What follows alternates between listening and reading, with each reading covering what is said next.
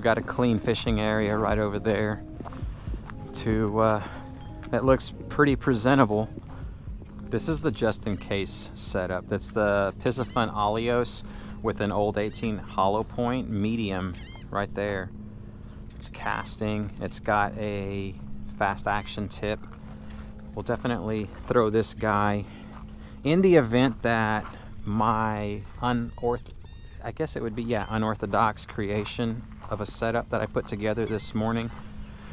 I want a spinning rod for this Lew's right here. It's a 4000 Custom Pro.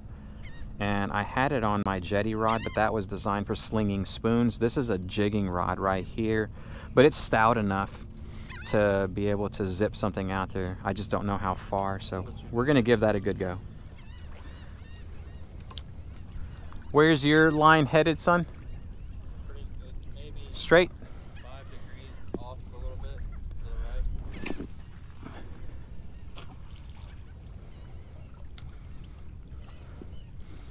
Not the best, but that's just because I don't have the leverage and backbone of the other setup that Christian is using. But it'll work. Oh man, I thought I wasn't even recording. I just sat down y'all and I was like, yeah, so uh, let's just do a little bit of what we did yesterday. Sit down right here. Uh-oh, look at my rod, something moved. Maybe it's the little bitty swells that are coming and it just kind of moved the tip of my rod a little bit. It's pretty dang exciting, y'all. All right, here we go. 47 seconds into the video and I've already got to give y'all an update. The rain is coming down. I'm going to put the jacket on and this camera is obviously going to go inside the truck because you can't uh, ruin the mic or the camera itself. It's not waterproof with the microphone on it. So I'm going to leave y'all right here. I'll leave it filming so I can just run and grab it. Or actually, no, that's a waste of battery. Doing our 30 minute update, y'all.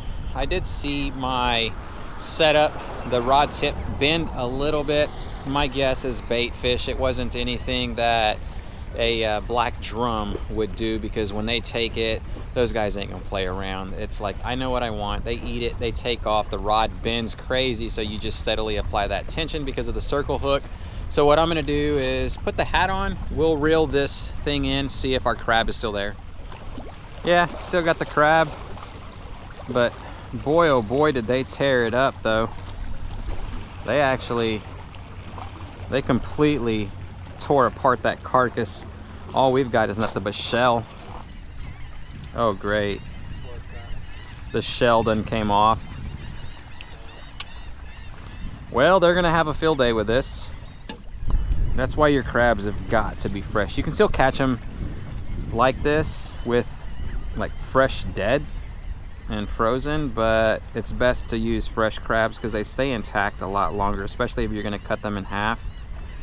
I've got a video where I did it at the Galveston Causeway and I was still able to catch a uh, black drum off of a fresh dead crab. It's just, they disintegrate a lot faster though. They're gonna, all the bait fish down there is gonna tear this up really fast.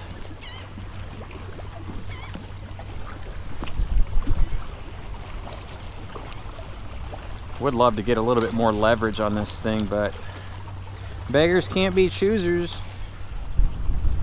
You can feel it. You feel the wind picking up? Yeah. The pressure's dropping.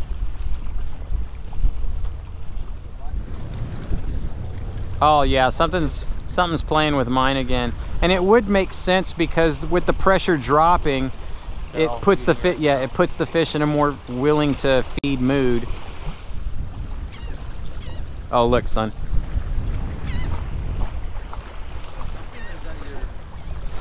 No, that's something.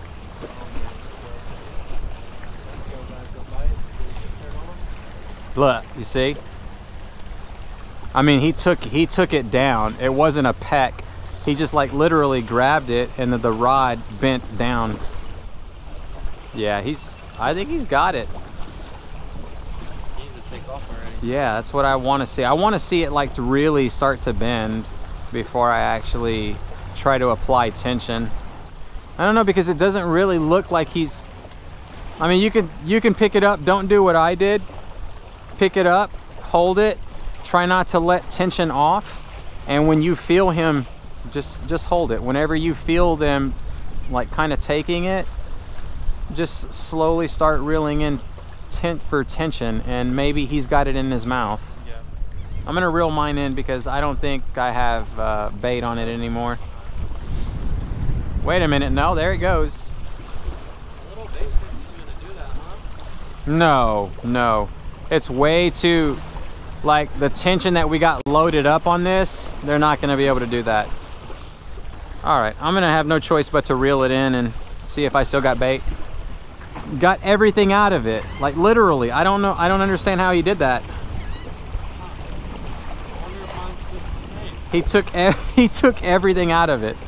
It's crazy. Like how could he do that without without us seeing like so much tension where he could get hooked? Every one of these little compartments is busted open and he took all the meat out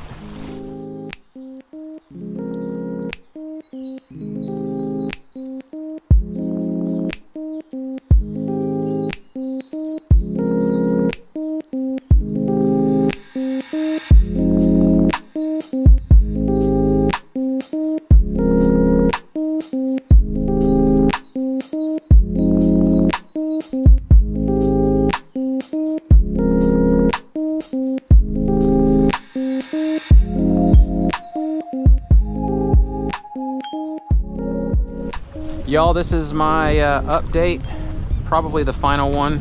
We got one crab left. I'm about to cut it in half and then we're gonna reel both rods in and put fresh bait on it.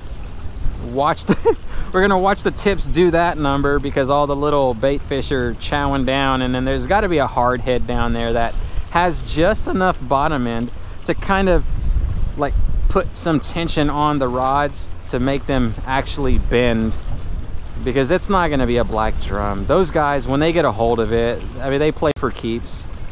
And as we stare at these rods the entire time i think i'm going cross-eyed. Let's uh let's cut this thing in half and we'll go throw away our trash and then we'll you know put some what do you call it? Some better bait on. None of them are getting bit this is a buttload of fish, and I don't know how people just come out here with so many setups. It's like my chances are good. What do you do though when the bite turns on and all? Yeah. gonna. What What do you do? I mean, I would think the same I mean, thing. I get it, like, because there's a part of a portion of me that thinks like, yeah, sure, you know, may, your odds are a lot better. But another part of me that, like, I don't know, just from fishing so much is like, if the bite is on, it's on, Yeah. And like, they're gonna bite. If they're not biting, they're not biting. So I, I really don't. Like on surface level, just taking a quick glance at it, yeah. I mean, we do take a lot of rods with us sometimes, like four on the Not skiff, all. They're not but there it's one being used at a time. Yeah. It's not like we're dual wielding and just like wham. Because to me, when the bite turns on, Yeah, that's gonna that's irresponsible. All right, y'all, that's gonna be it for fishing. We're gonna do a drive all the way out to Magnolia to go pick up some rods for jetty season. Y'all know that's about to start up, so we got to get this spinning reel and the uh, Stella a rod to uh, be able to use when we go out there to the jetty. So that is it. No black drum. They had our number today. That's gonna do it for today's video, everyone. Thank you so much for watching. This episode was filmed on the 16th and it is now the 19th. We did get wet on our first episode there at the dike and I have come down with a sinus cold, so hopefully there's not gonna be a lapse in footage for the videos, but in the event that there is, just know it's that I'm trying to get myself back to good health. So with proper rest, I do think that I'll be back out there on the water in no time. Thank you again so much for watching. If you enjoyed it, don't forget to click that thumbs up button. And until next time, tight lines, y'all.